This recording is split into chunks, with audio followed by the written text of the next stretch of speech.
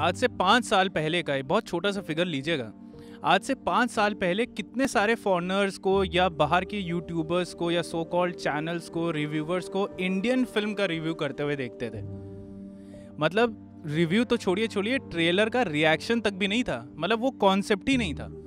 और अब देख रहा हूँ मैं पिछले कुछ एक या दो साल से हर फॉरनर जो भी मतलब बाहर का हो कोई का, मतलब किसी भी देश का हो इससे फ़र्क नहीं पड़ता वो किस देश का है, कोई भी अगर फॉरनर है, वो इंडियन फ़िल्म का ट्रेलर रिव्यू या रिएक्ट कर दे इंस्टेंट व्यूज़ आ जाते हैं। ये हो चुकी है पावर अब इंडियन सिनेमा की, कि ग्लोबल लेवल पे ऐसा दबदबा है कि सबको पता है कि Indian cinema is here to stay now तो जैसा कि पता ही होगा आपको इंडिपेंडेंस डे अपने आज़ादी का दिन पास आ ही रहा है और बहुत ज़्यादा जोश है इस साल। मतलब मैं इस साल एक अलग किस्म का एक कहते हैं ना, उत्साह में देख रहा हूँ हमारे भारतीयों के अंदर कि आज़ादी का अमृत महोत्सव।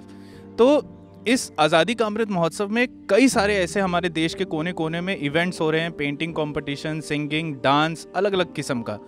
तो मैंने सोचा, यार, क्यों ना एक ऐसी उसके बारे में इंडस्ट्री के बारे में बात करें, जो मुझसे कनेक्टेड है फ़िल्म मेकिंग के बारे में इंडियन सिनेमा के बारे में। सोचिए इंडियन सिनेमा में सबसे पहली फ़िल्म और अब तक कितना कुछ डेवलप हो चुका है। मतलब पहले मुझे आज भी याद है कि एक ज़माना हुआ करता था जहाँ पे हमारी फिल्म्स को या चाहे वो हमारी बॉलीवुड की हो या कोई हमारे साउथ रीजन की हमारी कोई फ़िल्म हो, कोई भी हो, हमेशा मज़ाक उड़ाया जाता था कि ये अचानक से गाना कहाँ से चला आता है? या हमें कोई म्यूज़िक ट्रम्पेट टम्पेट और ये सब तो सुनने में नहीं आ रहा है तो ये अचानक से गाना कहाँ से बज गया?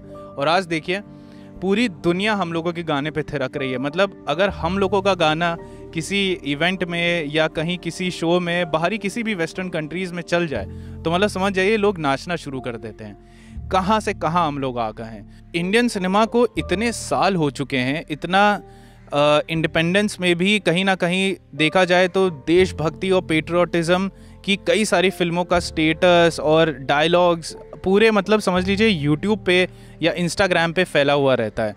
और कहीं ना कहीं मुझे ये लगता है कि शायद हमारा जो एक ओवरऑल इंडियन सिनेमा का जो कहीं ना कहीं डेवलपमेंट होता था, चाहे वो स्क्रिप्ट ले लीजिए एक्टिंग ले लीजिए डायरेक्शन ले लीजिए, हर फ़ील्ड में मतलब हर क्षेत्र में, हर कैटेगरी में हम लोग की इंडियन सिनेमा कहाँ से कहाँ तक आ गई? या हमारे इंडियन सिनेमा का जो वी एफ़ एक्स वो कितना कम है?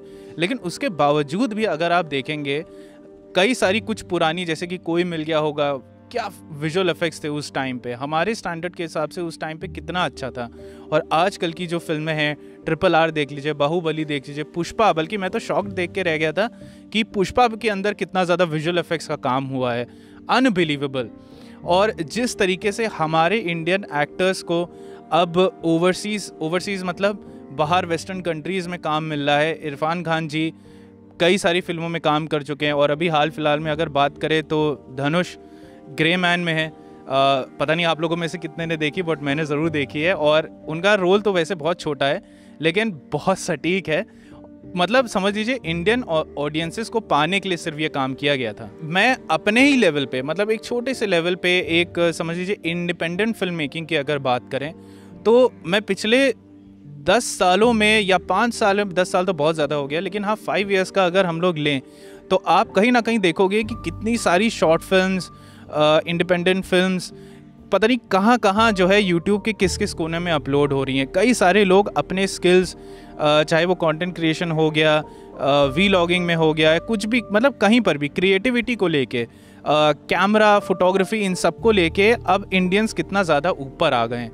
इतना ऊपर आ गए हैं कि बड़ी बड़ी कैमरा कंपनीज़ जो कैमरा प्रोड्यूस करती हैं, वो तक स्पॉन्सरशिप दे रही हैं इंडियन फोटोग्राफर्स फ़िल्म मेकर्स और अलग अलग कंटेंट क्रिएटर्स को।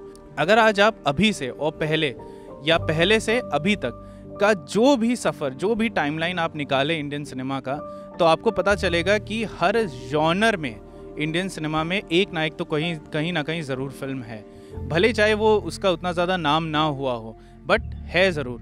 और अब और आने वाला जो समय है, उसमें हमारे जो फ़िल्म मेकर्स हैं, जो अच्छे खासे मतलब पोजीशन पर हैं, वो अलग अलग किस्म की कहानियाँ कॉन्सेप्ट को एक्सप्लोर कर रहे हैं। आप डेफिनेटली इस वक्त जो है, कहीं ना कहीं मैं ये ज़रूर यहाँ पे ये भी कहना चाहूँगा कि हमारे सदर्न रीजन की फिल्म्स कितना अच्छा काम कर रही हैं, पूरे देश में ही नाम कर रही हैं, और सिर्फ़ अपने देश में नहीं, बल्कि बाहर भी अच्छा खासा काम कर रही हैं। इस वजह से कहीं ना कहीं मुझे भी बहुत ज़्यादा प्राउड फील होता है कि भले मैंने 99 परसेंट ना दिया हो, लेकिन कम से कम वन परसेंट डेफिनेटली कॉन्ट्रीब्यूट किया है।